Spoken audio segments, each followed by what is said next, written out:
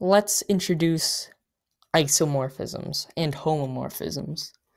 Okay, so let's look at an example. If I have the triangle group we discussed last time, right? I start off with the triangle that I flip along C, right? So that I get out of it the uh, triangle BAC and I then rotate it like that.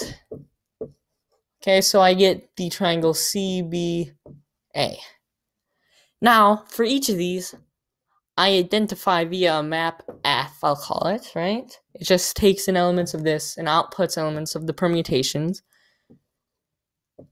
And I output their corresponding maps. So this is the map ABC, ABC, bringing A to B, B to the A, C to C. This is the mapping bringing uh, C to A's position, A to B's position, B to C's position, right? And then if I imagine doing it for this one as well, I get the mapping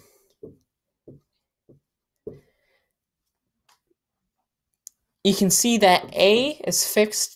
Uh, sorry, A is not fixed. Sorry, B is fixed here. A and C have switching, switching positions, okay? So, let's look at when I compose these two permutations, right? A, B, C, A, B, C, A, B, C. Okay, so I do the map where I switch them. Then I do the map where I rotate them. What do I get out of this? Well, A goes to B goes to C, A goes to C. B goes to A goes to B, B goes to B, C goes to A, right? You can see that's the same thing right there. In other words, if I call this map G, right, that H, and then this is going to be G times H, right? We have it that if I first brought G into the permutations, right, via F, and then I compose it with what I did with H when I brought it into the map, right? That's what I'm doing right here. So I'm doing the multiplication here. I should probably do something like that. Okay, then that's going to be the same thing as if I first did them and then applied F. So what this is saying is that I brought each of these individually into the world, right? Into this, uh, I'll call it H. I'll call this G. So I brought it from G into H, right? I brought each individual map from G into H. Then I applied them in H, right? Now, if I go back to G and I were to apply them, right? If I were to multiply them, and then I brought it into the H world, it'd be the same thing. This means that the multiplication is the same thing, right? You're doing the same sort of things. That's the entire idea behind this. So, let's define this a little more rigorously. So, if uh, G under the multiplication dot, I'll call it, is a group. And H under a multiplication star is a group. Then we say that a map F, taking elements in G, two elements in H, is a homomorphism.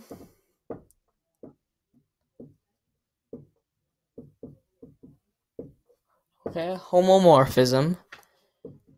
If, as we discussed, F of G times H is F of G times F of H.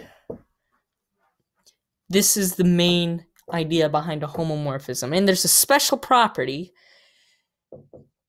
if f is bijective.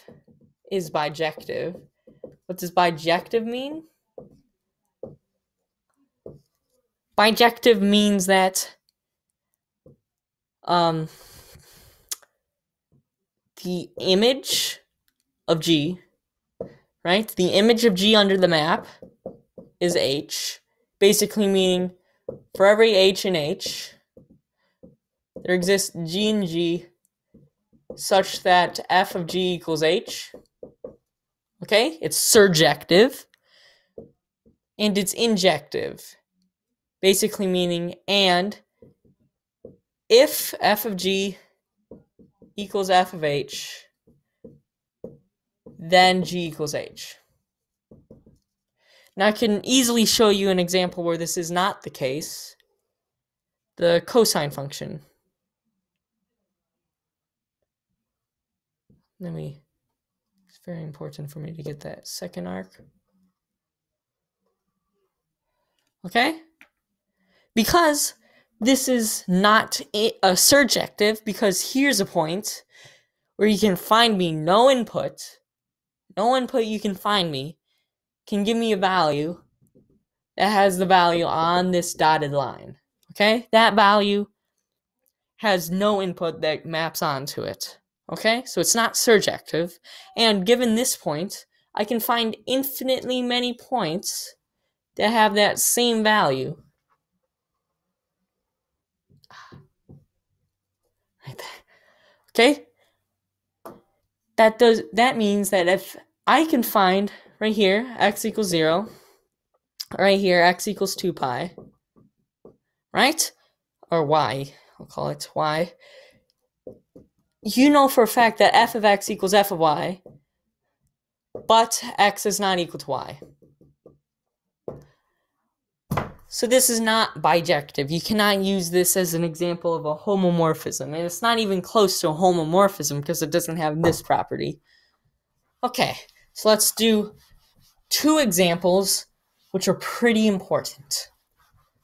Okay? It's very important. So we say z mod 2z is going to be the set of 0 and 1 where 1 plus 1 equals 0. Okay? And then the other additions are just the normal. Okay? And K2, Klein 2 group, is the set of negative 1 and 1 under multiplication.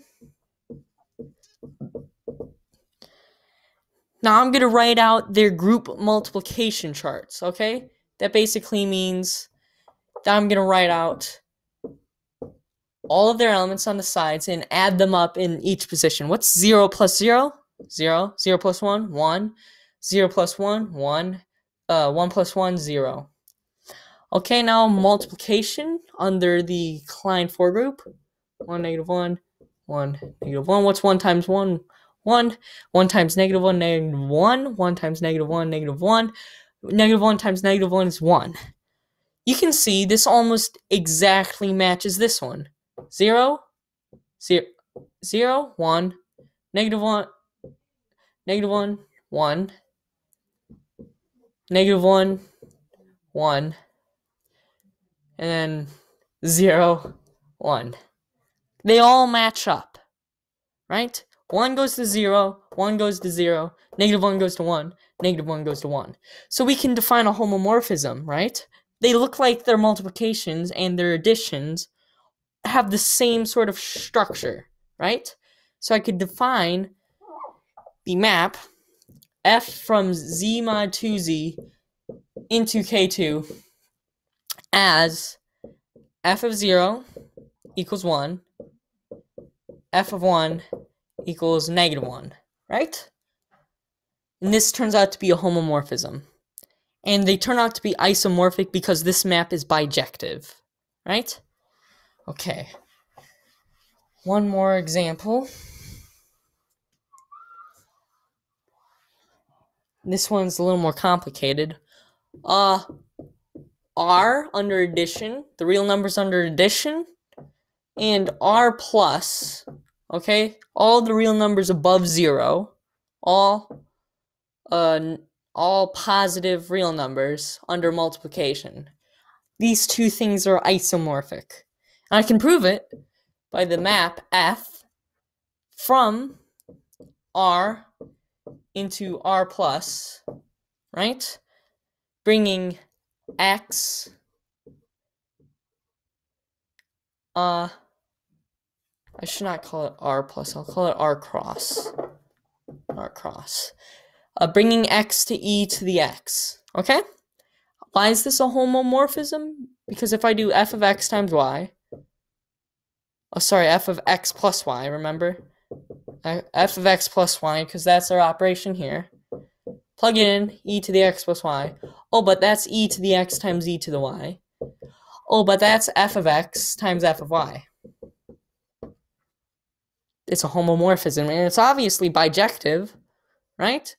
Because if you remember the graph of e to the x, it looks something like that. And you can see at a single point, there are no matched values, right? And it also completely covers the entirety of the positive real numbers. Thus, we have a bijection that is a homomorphism, and thus r plus and r cross under multiplication are isomorphic.